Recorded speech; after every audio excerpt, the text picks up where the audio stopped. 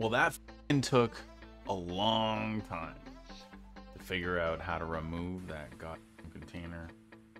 First, I had to find it. It was already stopped. And then, you know, I couldn't destroy it. It wasn't working. So I did check for the lock file. I found the lock file. And uh, it shows you here the name. That's the file name, pve config 200 for mine. What the hell? When you're typing in this thing, removing it, the container ID is actually this thing. So copy paste, copy paste, winning, winning. And that's how you remove a locked container environment.